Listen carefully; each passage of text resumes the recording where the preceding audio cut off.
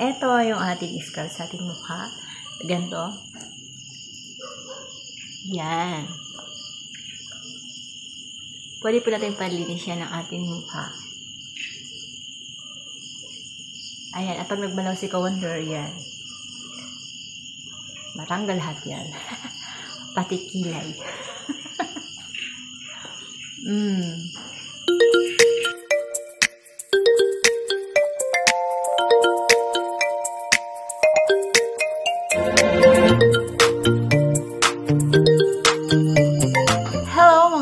Mga ka-wonder! Welcome to my channel. I'm aka Ka-Wonder. I'm Arlene Argalion Signo.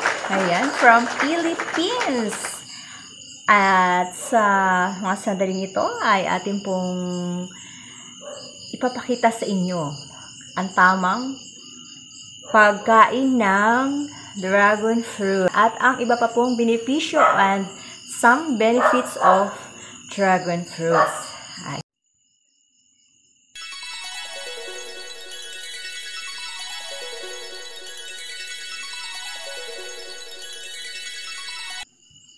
Ayan, alam niyo ba mga ka-wonder, ah, ang dragon fruit na ito ay marami pong benepisyo sa ating katawan, lalo na po tayo ah, kapag tayo po ay kumain nito.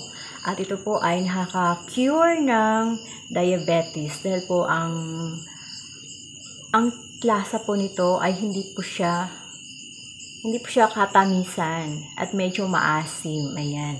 At ito pa rin po ay may antioxidant. Alam niyo ba ang antioxidant? Yun po ang nagpapanatili sa atin para maging bata. o isip bata. Ayan. Opo, totoo po yun. May antioxidant po ang dragon fruit para po tayo ay manatiling youth. Ayan. o magayot. Ayan. Joke lang. Ayan. Kaya marami, malaki, marami pong benefit ito sa atin. At sa totoo lang po, ito rin po ay nakaka-boost ng ating immune system. Ayan. At Tsaka po, nga pala sa mga kumakain po, lalo na pag naparami ang kain nyo po ng dragon fruit, huwag na po kayong magtaka at kung bakit po iba ang kulay ng inyong urine or ihe. Ayan. Magiging kulay din po ng dragon fruit. At ganoon din po ang ating, well, you know, waste. Magiging kakulay din po ng dragon fruit. Kaya huwag po kayong matakot, huwag po kayong magtaka at natural lamang po yun. At ganoon din po, alam niyo po ba, kapag po kayo ay medyo hirap sa pagdumi, paglabas ng, alam mo na, kapag kayo po ay kumain po nito, magiging smooth. Ayan. Hindi po kayo mahirapan magtulak. magtulak. Alam niyo na kung anong itinutulak. Ayan. Kapag nasa trono.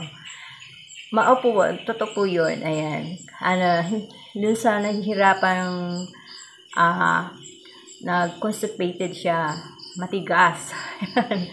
Ito po ang ay balat din po nito, hindi niyo po ba alam? Ang balat po nito, Pag natanggal na po natin sa kanyang laman, ay pwede po natin gamitin sa ating skin, sa ating balat.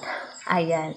Pag nagamit niyo po yun, itry niyo po. Nasa loob po pag tinanggal. Ayan. At ba, before anything else, I would like to show kung paano nga pala ah, ang tamang ah, paghiwa at tamang pag-prepare ng kakainin dragon Ayan, fruit. mga ka-wonder, nandito po tayo ngayon. Mapakita ko po sa inyo kung paano po ang pag tamang pag-prepare o paghanda ng dragon fruit kapag ito ay ating pong kakainin na. Ayan. At nakita niyo po ang um, dragon fruit natin. Ayan. At ito po ang ating gagawin natin. Ayan, malaki po siya, di ba? Una po, lalagyan po muna natin ng asin ang water. Ayan, lagyan muna natin ng asin at haluin. At dito po natin huhugasan ang ating dragon fruit. Ayan. Hugasan na po natin siya. At ayun ngayon po, ngayon po ay ano pakita ko sa inyo. I'm gonna show you how to cut the dragon fruit. First, I have, we have to cut this one, itong dulo. Tatanggalin po muna natin yan. Ayan. Ayan, tangkal. And then, this one.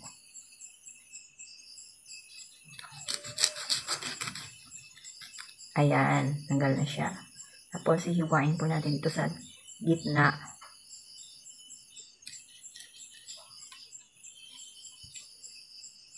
Ayan po, nakita niyo po, ang kulay niya ay ang ganda. Ayan.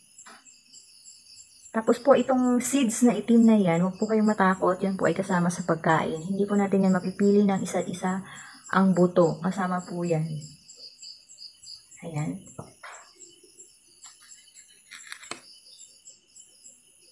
Pwedeng hatiin sa gitna. Ayan. At also, din sa isa. Ayan. At pwede na po natin siyang buksan. Ayan. Ito dito. At i-prepare na po natin dito sa ating lagayan. Ayan.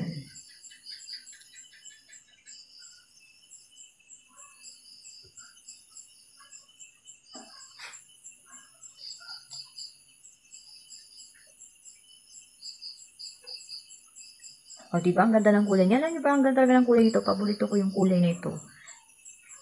Pero bukod sa kulay na ito, meron pa pong ibang kulay na dragon fruit. Yung kulay color white. Aside from this color, some of another color of dragon fruit is color yellow or white.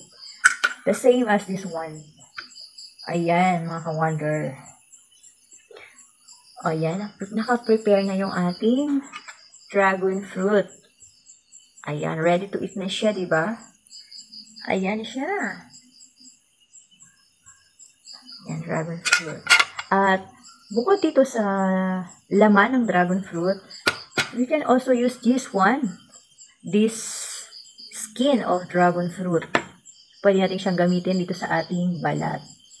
At alam niyo po, pag ito ginamit natin sa ating balat, kinan-scrub natin. Mamaya napakita ko po sa inyo, dito sa ating balat ay magiging smooth po yung balat natin para siyang may lotion. Ayan. Uh, pero bago ang lahat, ayan, hindi naman natin ready na po ang ating dragon fruit. Ayan. Ready na siyang kainin. Kaya, pakita ko sa inyo kung paano kumain ng dragon fruit si Wonder. Ayan. Ayan mga ka-wonder, ready na ang ating fruit, dragon fruit, ready to eat. Ayan, ganito lang siya kainin. Ayan, tusok-tusok your fork or tindor. Like that. Ayan, di ba? Natusok na siya. At pag natusok mo na siya, sabay buka ng bunganga. Mm. Sarap. Manamis-namis na medyo maasim, ganun ang lasa niya. Ayan, don't worry, yung seeds niya kay, kailangan po natin kainin, hindi po natin yung mapipili isa-isa. Ayan. Mm, sarap. Mm. Delicioso. Ayan. Delicioso. Mm. Come and eat some. Mm. Yun yung mga wonder. Ah, kapag naparami po yung ating pagkain to, kaya huwag na kayong mag-ala. Huwag na kayong matakot. Alam niyo kung bakit ha. Ang kulay ito, the same. Kapag gumigit ka or flow ng urine. Don't worry, the color is the same. And no worries because some of the toxic on our body will goes out because of dragon fruit. Mm. So much better to eat this one or than to eat an instant instant shake or refreshment or whatever. Because this is really organic. Mm. And very helpful. Ito. Kaya pa. Ayan. Mm. Paborito paborito ni Divine. Lagi siya sa akin, Mama, gusto ko ng dragon fruit. Nagpuna po na pang dragon fruit ngayon. Ha! Sabi niyo mga wonder. Nagtitinda ko ng dragon fruit. Naalala ko noon, bago noon Taiwan. Nag-aaral ako sa Imus. Dala ko dragon fruit, ilang, ilang kilong dragon fruit yun sa napsa ko papuntang Imus. Doon ako nag-aaral ng practical nursing. Mm. Tapos, inaano ko sa mga teacher ko, sa mga classmate ko. Yung para, pagbalik ko may pamasahin na ako pa uwi. Mm. Yan. Kaya, hindi na ako nakakalimutan. Mm. Alam niyo bakit? Hindi na ako nakakalimutan. Kasi ginawa kong demo to eh. Ginawa kong demo dun sa pinag-aaralan namin. Sa call center yata yun. Ginawa kong demo itong dragon fruit. Paano magbenta o paano mo i-alok ang iyong product. So wala akong naisip kasi may dala akong dragon fruit. So itong dragon fruit na naisip kong product. Yan. hmm. Kaya nabentahan ako noon na ano, ng dragon fruit. Eh di may pamasahe si Kawander pabalik. O di ba? hmm. Ang sarap. Saka kayo po pag kumain ito ha, ay matutbrush kayo. Dahil kumukulay ka sa ngipin. hmm. Halata pag kayo kumain. Kasi yung mga buto ito sumisingit sa ngipin. Pag nyo, may kulay itim na nakasingit sa ngipin nyo. Mm. Ang sarap. Kaya tikman nyo. Huwag na kayong mag-isip pa. Tikman nyo na at maraming benefit sa katawan natin. Aside doon sa na-share ko sa inyo kanina, marami pa pag talagang gusto nyo, kung kayo po ay conscious sa curious. Ayan, conscious, curious. Curious sa benefits ng dragon fruit. Tingnan nyo lang po doon sa ibang ano, channel. mm. Ang sarap. Ano, naubos ng mga ka-wonder? Ang lasa po niya talaga, medyo maasim ng konti, tapos hindi siya masyadong matamis. Kaya okay na okay ito sa mga diabetic. Talagang ano to, yung advisable na kainin. Ang sarap talaga. Mm. Ayan, naubos na yung ka-wonder. At ayan mga ka-wonder, nakita niyo may dala akong tubig. Tinapon ko yung tubig na may asin kanina, pinalitan ko na ng tubig na yan. At kasi ito mga ka-wonder, itong balat, pwede po natin gamitin yan para sa paglinis ng ating balat. Alam niyo ba, pag gumamit po tayo nito, ito yung pinag-alisan ng laman, kasi ito gamitin po natin sa ating skin. Magiging smooth o malambot po yung ating skin na para tayong may lotion. Tingnan niyo ha, lalagay ko na. Lalagay ko lang yan, gaganyan lang yan sa skin. Ayan.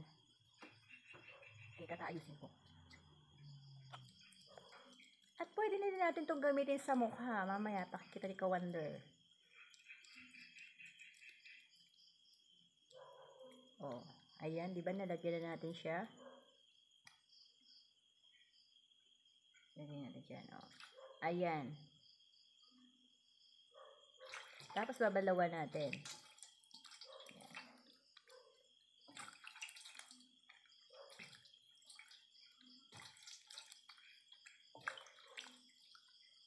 Ayan. Ayan. Malambot. Ayan, malambot. Tsaka mad, ano siya, natanggal yung libag. Hindi, hindi, maganda talaga siya sa Ayan, mga ka-wonder, ganito lang gamit niyan.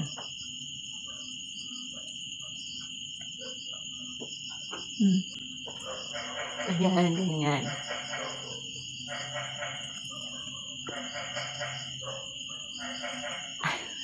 Ayan, nalagay sa chuli ko din.